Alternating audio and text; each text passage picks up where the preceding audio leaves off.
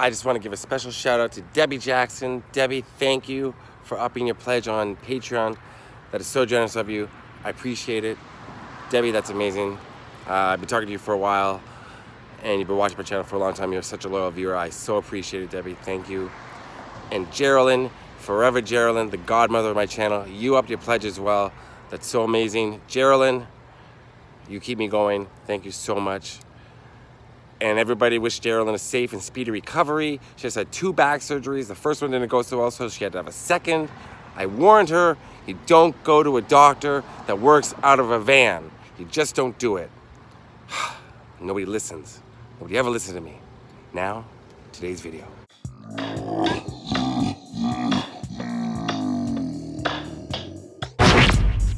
I know you're gonna dig this.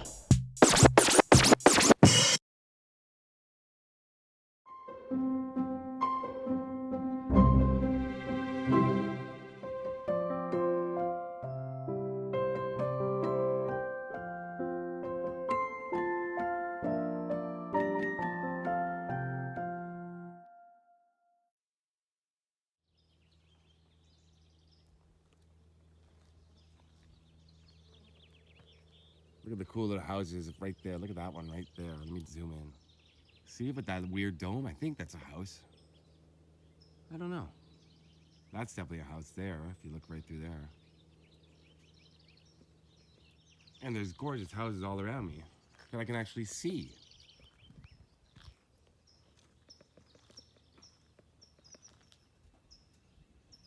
Although, quite frankly, I'm not here to see those houses. Quite frankly, I don't give a poop about those houses. I do like the uh, backdrop though. That's Rattlesnake Canyon Park. And then up there, that's Los Padres National Forest. This is Santa Barbara. Imagine, if you can, Palm Springs. You've seen maybe some of my Palm Springs videos. Imagine if they took Palm Springs out of the desert and placed it beside the ocean. That's exactly what Santa Barbara's like. I've never been up to Santa Barbara before. It's gorgeous. My God, is it beautiful. And it's hot. But what I'm here for today is to see a driveway. Because I've always wanted to see this driveway. Because the man who lived up this driveway is one of my heroes, who I consider to be the greatest musician of all time. I said it before, I'll say it again, the greatest musician of all time, George Michael lived here. Right up this driveway. This is George Michael's Santa Barbara house. Now, look, you can't see a thing. Nothing. Except this really, really impressive little driveway and gate. And the gorgeous uh, plumage around. Plumage? Did I just put plumage into a video? Yeah, I just said the word plumage. Plumage refers both to the layer of feathers that cover a bird and the pattern, color, and arrangement of those feathers. I believe the word I was looking for was foliage. I'm a moron. Yeah, right up there is one of the most uniquely designed houses you will ever see designed by Cliff Hickman for a, uh, believe it was a couple that they were psychologists. He designed specifically for them, and George Michael bought the house in 1989. He owned it until 1996 when he sold it. But this was his little uh, getaway, a little getaway home.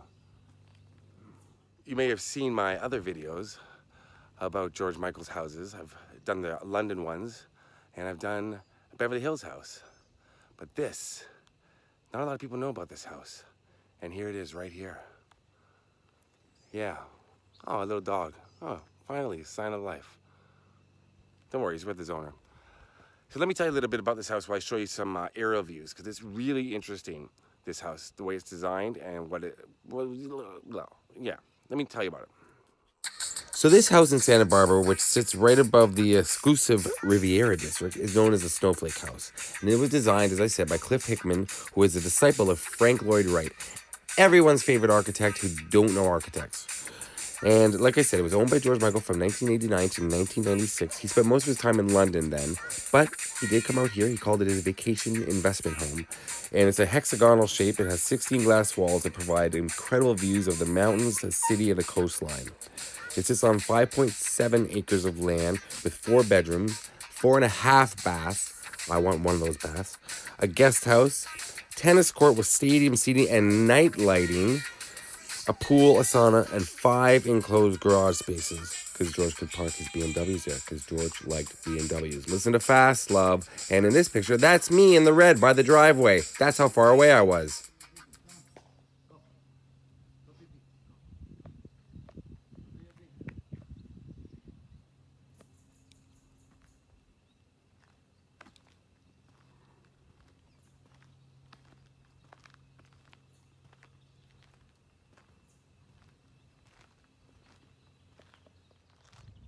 I was just playing with a little dog. His name is Luca, and there's bugs all over. Yeah, little dog, Luca. His name is Luca. He lives in Santa Barbara. Um, what was I talking about? Stop. Uh, yeah, yeah, yeah. So George Michael lived here, 89 to 96. Yeah, I've done his Beverly Hills house.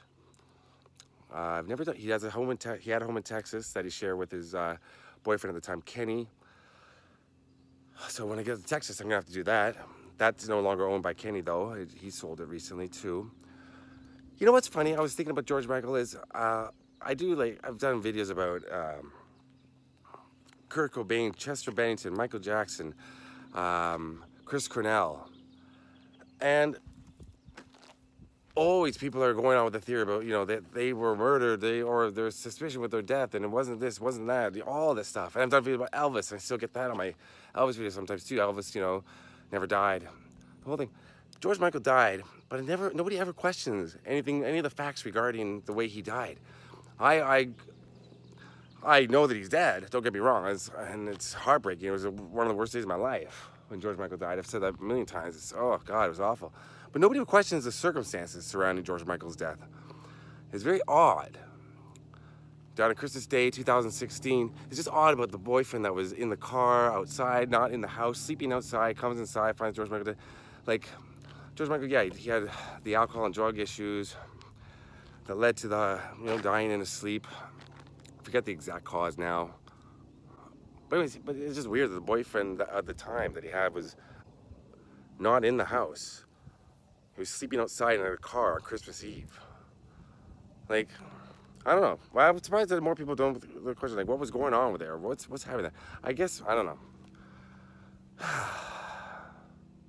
Weird, strange. I was just I was thinking that when I was I was like, nobody ever really questions about the fact that you know, when George Michael died, there was stuff going on outside the house. What was happening there? I want to know more, but I just wish he was still here. So there's a new movie coming out last Christmas that's based on Last Christmas that he did with Wham uh, the song, and then they got some new George Michael songs in that movie. Apparently, I'm hoping for a new George Michael album. Now he didn't have like a huge back catalog like a lot of artists when they pass away. Like Prince, you're to be hearing Prince Prince music, you know, new music by Prince. He's got, I'm sure, for another 50 years. But George Michael pretty much was uh, a lot of his stuff he, he either released or he some of it leaked to the net. A couple of uh, uh, like snippets of Trojan Souls, an album he was working on for other people, like demos and stuff. So I don't know how much stuff he has that hasn't been released, but I would love a new album. Although it's not the same to me when the artist isn't there to promote it and produce it and finish the album he wanted or they wanted. So it's not the same. It's really not the same. It sucks. But at least you get to hear the voice. You get to hear the music, but I wish it was just the music that he intended. So, but whoever finishes it up, maybe they'll do an amazing job. I hope so. Ah, God, it sucks when he died. It really sucks. Uh, that hit me the hardest of any celebrity death ever. I've had people in my life die, obviously, close to me. That so a celebrity death doesn't it pales in comparison to you know an actual person I know. But for George Michael, who was my idol since before I can even remember even anything. Yeah. Uh, yeah, his music was with me from the beginning, and I just every like if he breathed into a microphone, I have it. I have a recording of it because I just love the man. I thought he was just amazing, just a perfect musician, and such a great guy uh, with a great sense of humor. All right, so here's the house. I've been talking about George Michael, just talking, talking, talking. But you know, if you're a big fan of George Michael and you clicked on this video, maybe you haven't watched any of my videos before share with me your favorite George Michael song, a George Michael story, something like that. What you like about George Michael. That's what I want to hear. Because George Michael was all about positivity, so was my channel. And I got to see George in concert one, two, three, three times. I would say I can't remember the first two that well because they were a long time ago, but on his last tour, it was just incredible. Just incredible. The 25 Live, amazing. Wow. Watch live from London. There's a DVD of it. If you can get a hand, uh, hand, your hands, your hands on that, get it, watch it. You'll see the beauty and the amazingness that is George Michael.